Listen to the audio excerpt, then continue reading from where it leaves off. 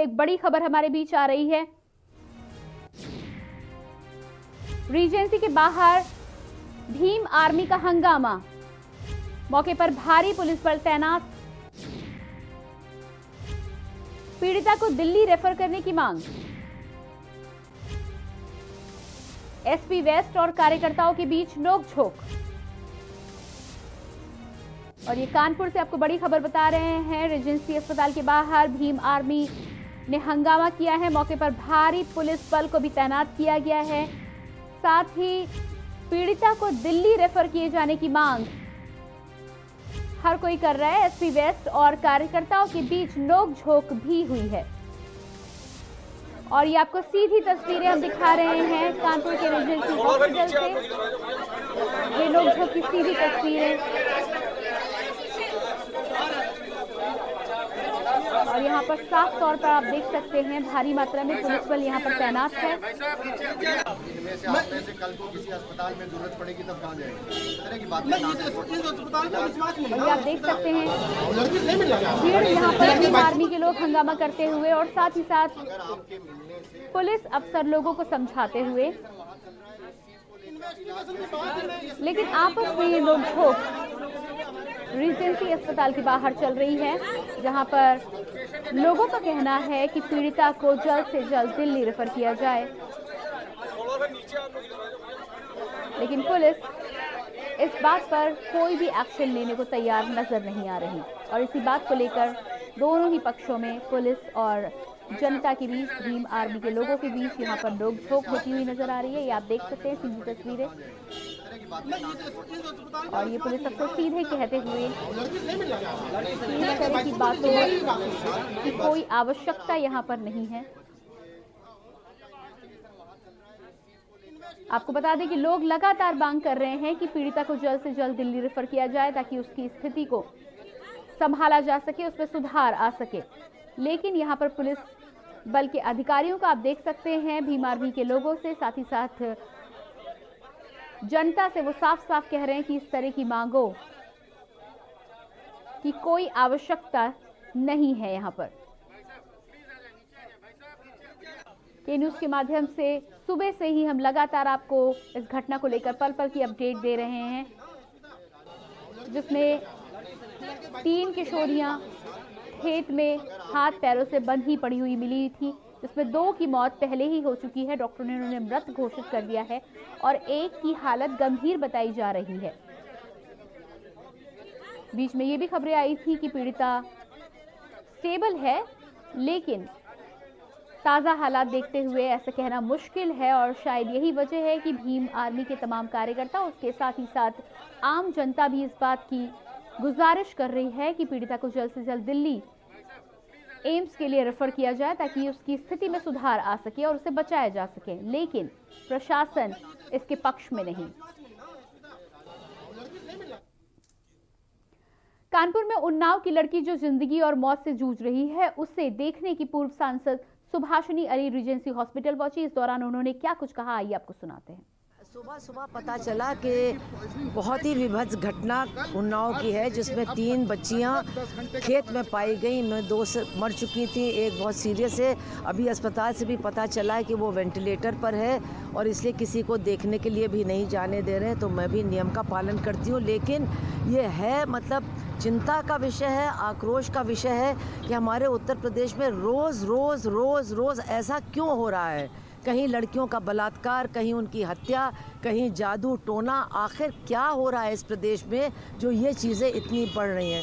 मुझे लगता है कि जो सरकार को काम करना चाहिए मतलब लोगों की सुरक्षा लोगों को मतलब जो न्याय है, न्याय मिले, वो सब काम छोड़ करके वो दूसरे अपने एजेंडे में लगी हुई है, जिसकी वजह से इन घटनाओं का बस इतना बुरी तरह से बढ़त हो रही है कि हम लोग सब परेशान हैं। हम प्रशासन का कहना है कि ये पॉइजनिंग केस है लेकिन उनके परिजनों का कहना है कि अगर पॉइजनिंग केस है तो जो बॉडियाँ बंधी मिली हैं या जो एक लड़की दूसरी जगह पर मिली है तो आपको क्या लगता है कि कहीं ना कहीं इसमें किसी की संलिप्तता पाई जा सकती है? देखिए ऐसा है जो मैंने देखा है जो मैंने सुना है उससे लगता है नहीं है कि ये एक सीधा सीधा पॉइजनिंग का या सुसाइड का केस है। क्योंकि अगर कुछ तो उसका फिर पता चलता। अभी वो लड़की पता नहीं बोलने की भी स्थिति में है कि नहीं। लेकिन जो भाई का बयान है कि हाथ पैर बंधे हुए थे और मुँह से फेना भी निकल रहा था। तो जो भी ये केस है, मुझे नहीं लगता है कि ये आत्महत्या का केस है। इसमें कुछ मामला है, या तो कोई तंत्र मंत्र का मामला है, और या फिर उनके ऊपर कोई हमले का मामला है, लेकिन जैसा कि परिवार के लोग भी बता रहे हैं कि उस तरह के निशान उनके शरीर पर शायद नहीं मिले हैं, कपड़े भी वो पहने थी, लेकिन ये है हमला बच्चियों के ऊपर। तीनों दलित वर्ग की थी, कम उम्र की थी, और आजकल अंधविश्वास का इतना बोलबाला है हमारे समाज में। हमारे बगल के ही गाँव में आप जानते हैं कि एक बच्ची के जो अंग थे, वो खा लिए गए कच्चे तो अंधविश्वास इतना बढ़ रहा है। अंधविश्वास को माफ़ कीजिएगा हमारी सरकार बढ़ा रही है। और आइए आपको ग्राफिक्स के ज़रिए बताते हैं उन्नाव का ये पूरा खेत मामला। में बंधी मिली तीन किशोरियाँ। दो की मौत एक की हालत नाजुक। खेत में जानवरों का चारा लेने गई थी। सभी के मुँह से निकल रहा था झाग। सभी के हाथ पैर बांधे गए थे। दो लड़कियाँ मिली थी खेत में मृत। एक का कानपुर में चल रहा है इलाज। आपस में रिश्तेदार थी तीनों किशोरियाँ। पुलिस के आला अधिकारी मौके पर। छावनी में तब्दील हुआ बबुराहा गाँव। जाँच के लिए बनाई गई छह टीमें।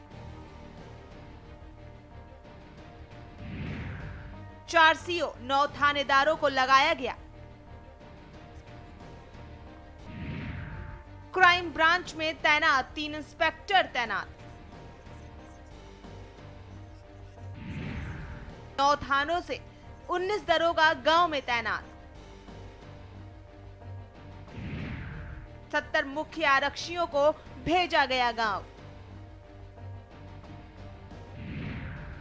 तीस सिपाहियों की अतिरिक्त तैनाती। पुलिसकर्मी टीयर गैस गोले के साथ तैनात। अन्य उपकरणों से लैस जवानों की तैनाती।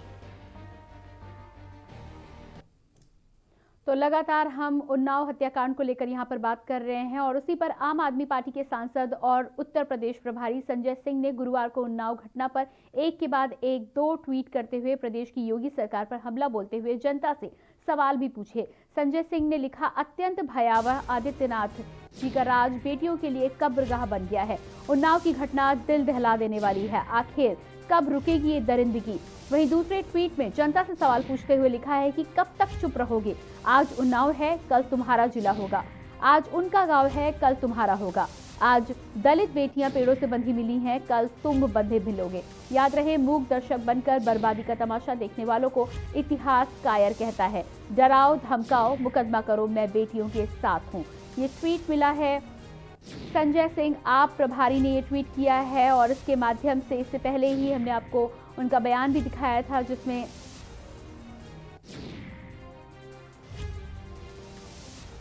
और संजय सिंह का ये ट्वीट बेटियों के लिए कब्रगा बनता जा रहा है। आए दिन मासूम बच्चियों के साथ बलात्कार की घटनाएँ गैंगरेप की घटनाएँ उनकी हत्या की घटनाएँ एक के बाद दूसरी दूसरे के बाद तीसरी खबरें बन रही हैं। हाथरस कांड हम सब अभी भूले नहीं हैं। कितनी दरिंदगी के साथ एक बेटी के साथ बलात्कार किया गया और उसकी हत्या कर दी गई। उन्नाव में दिल दहला देने वाली घटना सामने आई है, जहाँ पर तीन किशोरियाँ जंगल से संदिग्ध परिस्थितियों में पाई, परिस्थितियों में पाई गई, जिसमें से दो की मौत हो गई। लेकिन उत्तर प्रदेश पुलिस की कहानी देखिए, आदित्यनाथ के राज में कोई भी जुर्म हो, कोई भी अपराध हो, कोई भी गुंडागर्दी हो, उसका एक नया फॉर्मूला पुलिस लेके आ जाती है। एक नई कहानी गढ़ने लगती है। इस मामले में भी पुलिस का बयान आ गया। बगैर जाँच किए, बगैर गहराई में गए, बगैर तथ्यों की पड़ताल किए, पुलिस कह रही है, जहर खाने की आशंका है। मैं आदित्यनाथ जी से और उनकी पुलिस से पूछना चाहता हूँ, जिन बेटियों पे आप ये लगा रहे हैं कि उन्होंने जहर खाया है, ये आरोप लगा रहे हैं कि उन्होंने जहर खा के अपनी जान दी है। वो बांधी कैसे गई थी? किसने बांधा उनको? क्या उन बेटियों ने अपने आप को पहले बांधा और बांधने के बाद खुद से जहर खाया? ये कौन मानेगा आपकी बात? और क्यों ऐसे मामलों में भी हमेशा लीपा पोती और मामले को दबाने की, दफन करने की कोशिश होती है? तो इसलिए इस मामले की उच्च स्तरीय जाँच होनी चाहिए, ये बहुत बड़ा मामला है। और इसमें दूध का दूध, पानी का पानी होना चाहिए। जो दरिंदे, जो हैवान इसमें शामिल हैं, उनको पकड़ा जाए और उनके खिलाफ सख्त से सख्त कार्रवाई अभी सूचना मिली है कि उन्नाव में तीन दलित समुदाय की बहन जो जंगल में चारा लेने गई थी, उसमें से दो दलित बहनों की लाशें पेड़ के साथ टंगी हुई बांधी गई है। दोनों बहनें मर गई है। दोनों बहनें मर चुकी है, उनकी हत्या हुई है। और एक तीसरी बहन अपने जीवन और मरण के बीच के खड़ी है, अपने जीवन के लिए जूझ रही है। मैं सारे दलित बहुजन समुदाय के साथियों को अपील करता हूँ कि दो बहनों के डेड बॉडी का तब तक वो स्वीकार न करे, तब तक उनकी अंतिम क्रिया नहीं होनी चाहिए। वहीं कांग्रेस सांसद राहुल गांधी ने भी ट्वीट कर यूपी सरकार पर निशाना साधा है और कहा है कि केवल दलित समाज को ही नहीं, यूपी सरकार महिला सम्मान व मानव अधिकारों को भी कुचलती जा रही है। लेकिन वे याद रखें कि मैं और पूरी कांग्रेस पार्टी पीड़ितों की आवाज़ बनकर खड़े हैं और उन्हें न्याय दिलाकर ही रहेंगे।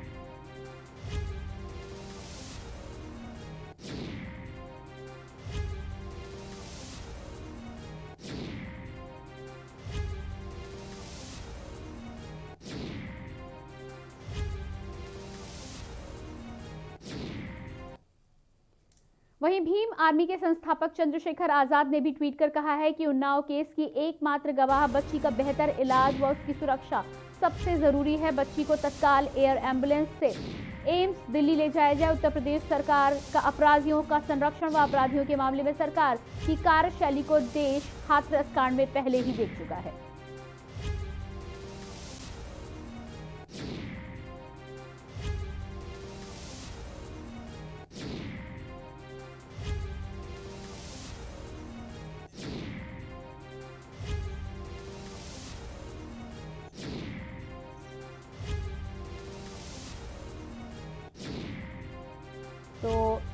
ये आप देख सकते हैं यहाँ पर ट्वीट जिसके माध्यम से भीम पार्टी के नेता ने भी यहाँ पर साफ़ डिमांड की है कि लड़की को जल्द से जल्द एम्स ले जाया जाए ताकि उसका इलाज बेहतर तरीके से हो सके। इससे पहले हमने आपको राहुल गांधी का ट्वीट भी दिखाया और उसके अलावा संजय सिंह का ट्वीट भी आपको दिखाया है। तमाम विपक्ष के नेता भी इस मुद्दे पर विपक्ष को घेरने की तैयारी कर रहे हैं और ये ज़रूरी भी है क्योंकि जिस तरह की घटनाएँ आए दिन सामने आती रहती हैं, साथ ही साथ पुलिस की जो लापरवाही देखने को मिलती है, उसकी वजह से आए दिन इस तरह की घटनाएँ सामने आती हैं और इसका सबसे ज़्यादा खामियाजा लड़कियों को, किशोरियों को, महिलाओं को ही भुगतना पड़ता है। इसी खबर पर ज़्यादा जानकारी के लिए हमारे साथ जुड़ी हैं सारिका गुप्ता कानपुर से और साथ ही साथ घटनास्थल से अवनीश शुक्ला उनसे बात करेंगे सबसे पहले सारिका आपसे जानना चाहूँगी जैसी स्थिति आज सुबह से हम के न्यूज़ के माध्यम से लोगों को अपडेट कराने की पूरी तरह से कोशिश कर रहे हैं दो लड़कियाँ पहले से ही मृत घोषित की जा चुकी हैं और एक लड़की की हालत अभी भी गंभीर बताई जा रही है क्या है ताज़ा जानकारी आपके पास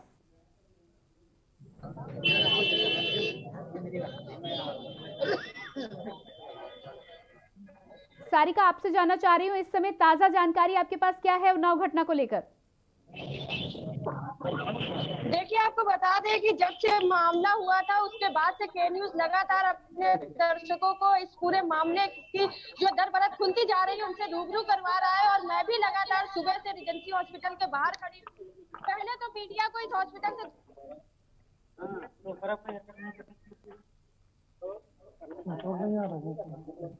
एडमिट हुई है, उसकी हालत जो है यथास्थिति बनी हुई है। उसके बाद जब ये जानकारी होती है, तभी यहाँ पर जो है भीम आर्मी के लोग आते हैं, इस हॉस्पिटल का घेराव करते हैं और लगातार उनकी ये मांग रहती है कि जो पीड़िता है, उसको यहाँ से दिल्ली के हॉस्पिटलों में रिफर किया जाए। इस दौरान हमारे साथ भीम आर्मी के कार्यकर्ता के क्या है आप लोगों की मांग? देखिए, अभी हम लोगों को मीडिया के माध्यम से हमने आप लोगों को बताया था कि लड़की को जो बहन हमारी एडमिट है, उसके भाई से मैं मिला। और उसने बताया कि हमारी बहन की स्थिति जस की तस बनी हुई है उसमें कोई भी सुधार नहीं हुआ है वो बेहोश है और वो बोल नहीं पा रही है। तो हम कह सकते हैं इस चीज़ को बड़े बड़े अच्छे से कि उसको जान को खतरा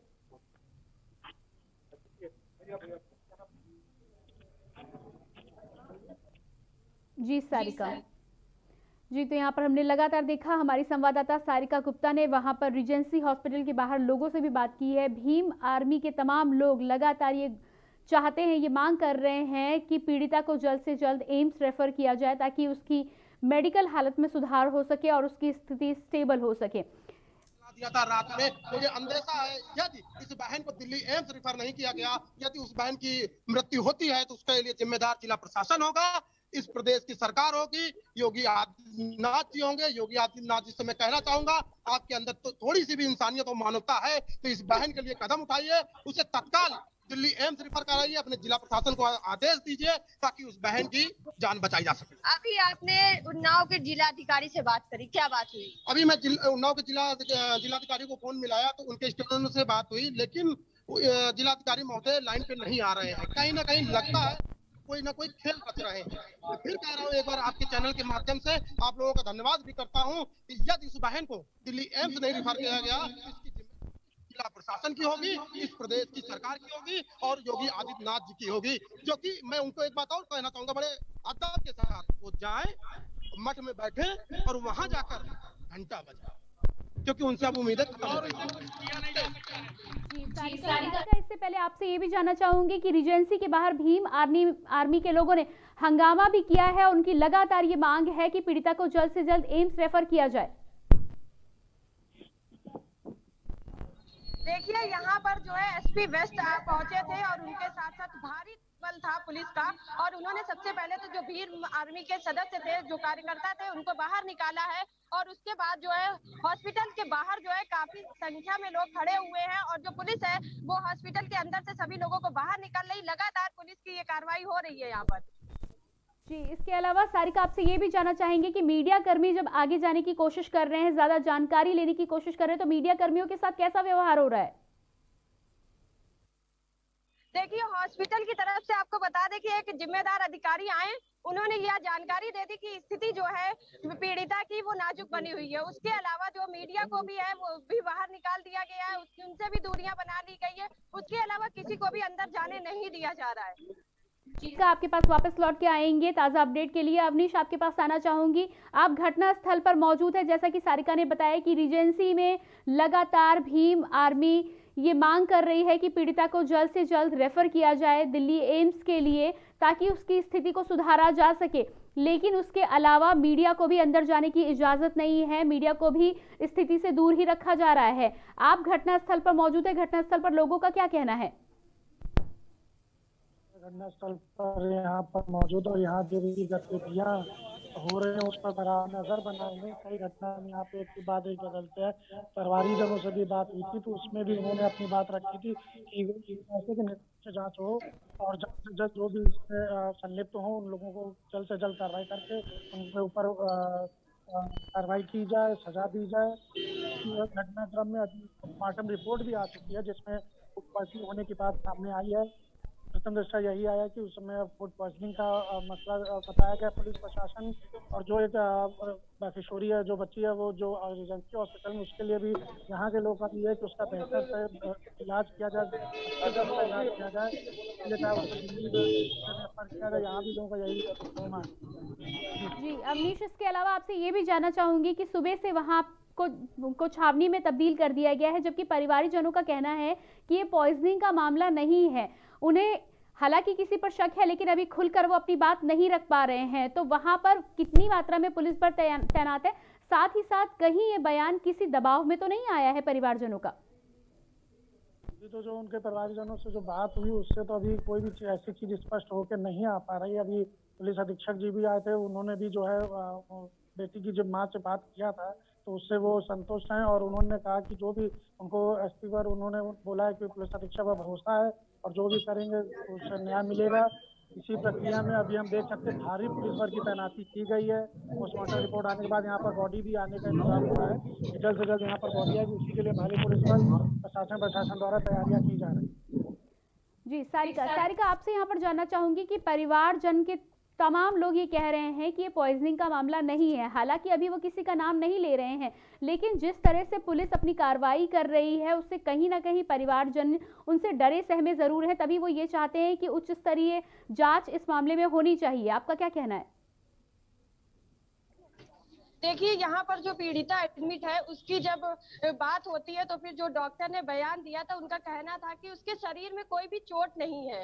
और जब उनसे यह पूछा गया कि क्या जहर का कोई सिम्टम्स है तो उन्होंने साफ़ मना कर दिया था, क्योंकि हालत उसकी बहुत नाजुक बनी हुई है। तो डॉक्टरों ने कहीं ना कहीं इस पूरे मामले से पल्ला झाड़ लिया था और कुछ भी बताने से पहले ही वो अपने क्लिनिक के लिए रवाना हो गए थे। तो ये कहीं ना कहीं कहा जा सकता है कि ये जो पूरा मामला है, वो जहर का भी हो सकता है, लेकिन कोई पुष्टि ना होने के कारण इसमें असमंजस बना हुआ है। जी बिल्कुल यहाँ पर असमंजस बना हुआ है। डॉक्टर भी अपना पल्ला झाड़ रहे हैं वहीं पुलिस भी अपने ही तरीके की कार्रवाई कर रही है। लोगों की हालाँकि लगातार ये मांग है भीम आर्मी ये मांग कर रहे हैं कि पीड़िता को जल्द से जल्द एम्स के लिए रेफर किया जाए ताकि उसकी मेंटल स्थिति को स्टेबल किया जा सके क्योंकि वो एकमात्र गवाह है उसके माध्यम से ही आगे की जानकारियाँ पता चल सकेंगी। अवनीश आपसे यहाँ पर जानना चाहूँगी कि आप घटनास्थल पर सुबह से मौजूद हैं मौके पर मौजूद हैं। पुलिस के अधिकारियों का जो रवैया है उसको लेकर आपका क्या कहना है? क्या यहाँ पर परिवार की वो मदद कर रहे हैं या परिवार के खिलाफ ही काम कर रहे हैं? अभी जो मैंने बात करना चाहा तो कोई भी पुलिस अधिकारी, कोई भी किसी भी प्रकार का जवाब देने से कर रहे हैं। अभी जब पुलिस अधीक्षक से जब मैंने बात किया था तो उन्होंने यही बोला था कि इस पर जो भी जाँच की जाएगी और जो भी कार्रवाई होगी सख्त से सख्त कार्रवाई, ये भाई एक है कि उन लोगों का जो एक बंदा बनाया, जो एक रटा रटाया वाक्य होता है बस वही वो रिपीट किया जा रहा है। उसके अलावा मैंने एडीएम से बात करने की कोशिश किया, मैंने एसपी से बात करने की कोशिश की, परंतु कोई भी जवाबदारी देने के लिए तैयार नहीं है। जी, बिल्कुल। सारिका, एक बार फिर से आपके पास आना चाहूँगी। महिलाओं की जब हम बात करते हैं तो आए दिन इस तरह की घटनाएँ होती हैं, और इस तरह की जब घटना होती है तो पुलिस अपनी नई कहानी लेकर चलती है। चाहे हाथरस कांड की बात कर ली जाए या फिर किसी और कांड की बात कर ली जाए, पुलिस की अपनी एक तैयार कहानी होती है, उसके आधार पर काम करती है। जब बहुत ज़्यादा आक्रोश जनता का देखने को मिला, तब एडीजी लॉ एंड ऑर्डर आए और प्रशांत कुमार ने ये बोला कि परिवारजनों के सूचना के अनुरूप ही अब ये कार्रवाई की जाएगी। लेकिन मुख्य बात यह है कि यदि इस तरह की घटनाएँ आए दिन होती रहेंगी तो महिलाएँ कहाँ तक सुरक्षित और सेफ़ महसूस कर पाएँगी?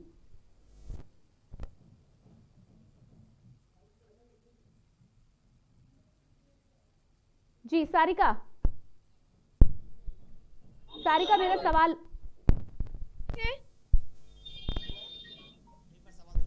जी, सारिका, मेरा सवाल आपसे ये है कि इस तरह की घटनाएँ जो आए दिन होती रहती हैं और पुलिस की अपनी कार्रवाई चलती है, ऐसे में महिलाएँ कहाँ पर सुरक्षित महसूस कर सकती हैं?